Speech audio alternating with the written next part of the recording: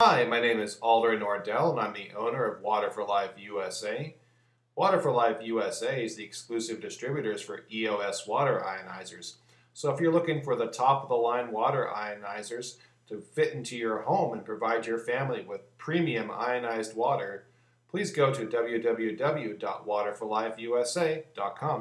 Today we're going to be learning how to ionize water as a way to boost your health. Ionized water is more hydrating for your body, can help restore your pH balance, and fights aging and disease. They may sound like pretty bold proclamations, but the science behind ionized water and how it is formed means that these benefits to the human body are real. So finding out how to ionize water to get all of its benefits is important. But the problem is there are so many different products that claim to give you ionized water and some even masquerade as ionized water producing products when they are in fact not.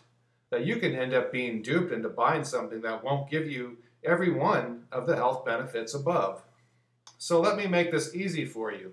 If you want to find out how to ionize water so that you receive every benefit that this special water can bring to your health, you need a water ionizer. And it would be helpful to understand how these machines make this possible too. How to ionize water the right way. A water ionizer is equipped with the technology to turn tap water into something which other man-made products cannot.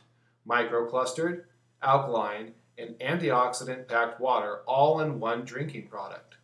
You can only get ionized water with these properties from a top water ionizer like the Genesis Platinum or the Revelation 2.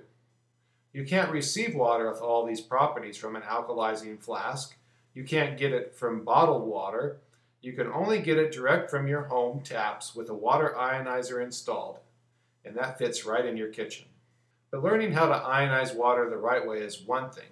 But what is the science that proves this type of water has multiple health benefits to us?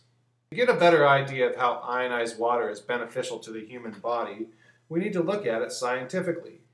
A water molecule, or H2O, consists of two hydrogen atoms and one oxygen atom, hence the scientific name. Standing on its own, the hydrogen atom contains one positive proton at its core, with one negative electron revolving around it in a shell. Oxygen, on the other hand, contains eight protons in its nucleus and eight more electrons revolving around it. You could say that the key to all of life is the combination of these two atoms. The single hydrogen electron and the eight electrons of oxygen help hydrogen and oxygen atoms combine to form a water molecule, or split to form ions. This happens because hydrogen tends to ionize by losing its single electron to form single hydrogen positive ions. A hydrogen bond, which I'm sure is a familiar term for old science classes, occurs when the electron of a single hydrogen atom is shared with another attracted atom, such as oxygen, that lacks an electron. Water is not single molecules of H2O, though. It forms in clusters. And the difference between ionized water and tap water is that the clusters of the former are formed by fewer molecules, hence the term microclustered. This smaller cluster size means ionized water gives better cellular hydration, as the smaller clusters more easily penetrate our cells. Better hydrated cells means toxins are flushed away from the body and cell damage is reduced, both of which help combat aging.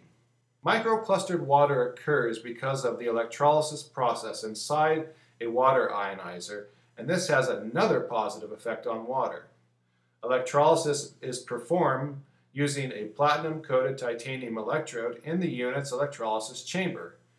This causes cations, which are positive ions, to gather at the negative electrodes, creating reduced water. Negatively charged ions, called anions, gather at the positive electrodes to make oxidized water. This ionized reduced water not only has microclustered properties it also has water molecules in it that have an excess amount of electrons.